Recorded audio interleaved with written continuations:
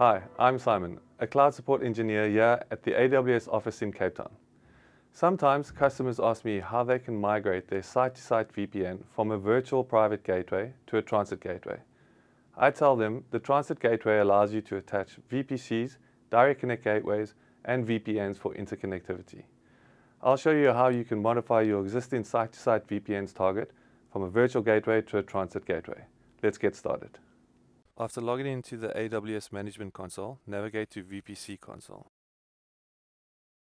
In the navigation panel on the left, go to Transit Gateway. Choose Create Transit Gateway. From here, you can give your transit gateway a name and description. I'll name mine TGW1. If you plan on migrating a dynamic VPN, you must add your BGP ASN number here. Keep this the same as your previous site-to-site -site VPN AS number so that you can avoid reconfiguring your customer gateway. Make sure you enabled auto accept shared attachments to enable automatic acceptance of cross-account attachments. Choose Create Transit Gateway and click Close. Now we need to attach your newly created Transit Gateway to your VPC. Go to Transit Gateway Attachments in the navigation panel and then select Create Transit Gateway Attachment. From the drop-down menu for Transit Gateway ID, you can select your recently created Transit Gateway. Keep your attachment type as VPC and provide a name tag for your attachment. I'll name mine VPC1 Attachment. From the VPC ID drop-down, you can select the VPC you want to attach it to the transit gateway, and then select the subnets you want the transit gateway ENIs to reside. Choose Create Attachment and then Close. You've now successfully created your transit gateway and attached it to your VPC. And now to migrate your existing site-to-site -site VPN away from the virtual private gateway to your new transit gateway.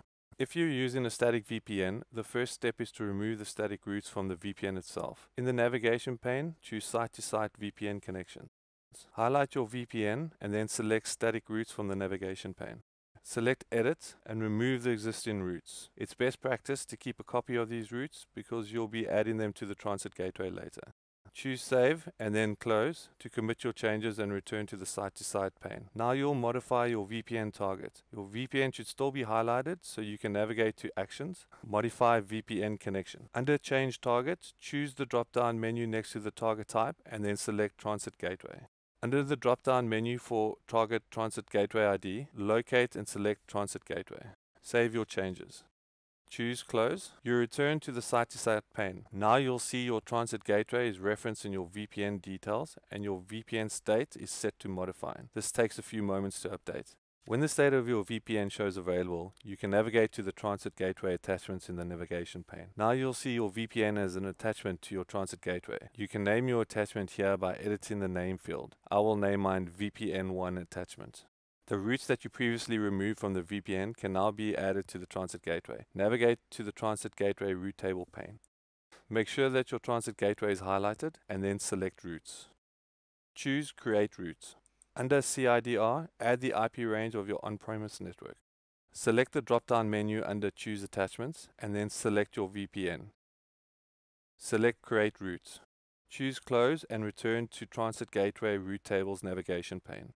Don't be surprised if your route state is black hole, as the process of modifying your target drops the tunnel briefly. Make sure that you're sending interesting traffic from the customer gateway to re-establish the VPN. When the tunnel is re-established, the route state changes to active. Now we'll edit the routes within the VPC and point them to the transit gateway. If you're propagating routes, this step is unnecessary. Select route tables in the navigation panel. Highlight your route table, then in the Routes tab, select Edit Routes.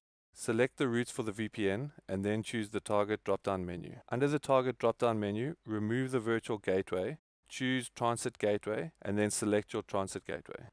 Choose Save Routes, and then Close. You've now successfully migrated your VPN from a virtual private gateway to a transit gateway. Thanks for watching and happy cloud computing from all of us here at AWS.